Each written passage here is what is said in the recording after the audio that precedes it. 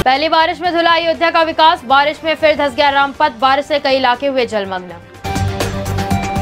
अयोध्या में भारी बारिश से सड़कें हुई तबाह, घरों और कार्यालयों में कई फीट तक भरा पानी 20 ज़िले में जोरदार हुई बारिश। यूपी में भारी बारिश से 24 घंटों में बिजली गिरने से अब तक सात लोगों की जा चुकी है जान। अगले पाँच दिनों तक होगी तेज आंधी तूफ़ान के साथ बारिश। मुंबई के लिए 24 घंटे अहम, कोकण, पुणे ढाणे के लिए ऑरेंज अलर्ट हुआ जारी। अगले 24 घंटों तक छाए रहेंगे बादल। दिल्ली वाले हो जाए सावधान, दो दिन होने वाली है भारी बारिश। आईएमडी का अपडेट आया सामने। भारत दुनिया की तीसरी सबसे बड़ी इकोनॉमी बनेगी। अपने पहले अभिभाषण में विकास, किसान, अर्थव्यवस्था पर बोली राष्ट्रपति द्रौपदी मुर्मू।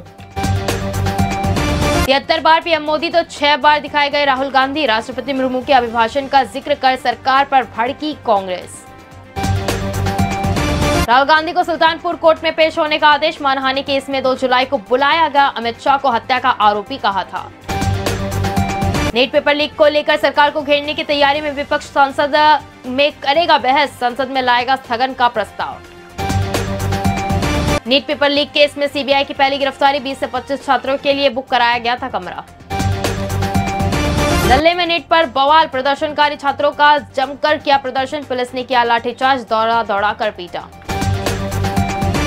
अब संसद में सिंगोल पर छिड़ी रार, समाजवादी पार्टी ने उठाई संविधान रखने की मांग, बीजेपी ने किया पलटवार, अब उसे कोई हटा नहीं सकता। जेडीयू सांसदों से मिले पीएम मोदी, बोले बिहार और खराब शासन, भ्रष्टाचार और अपराधीकरण के खिलाफ संघर्ष करने का लंबा इतिहास रहा। लोकसभा अध्यक्ष ओम बिरला से राहुल गांधी की मुलाकात, सदन में आपातकाल पर बयानबाजियों पर जताई नाराज़गी। मुंबई के मालाड में आइसक्रीम में किसकी उंगली का टुकड़ा था? डीएनए की रिपोर्ट आई सामने, मैनेजर ओमकार पोठे की थी एफआईआर दर्ज।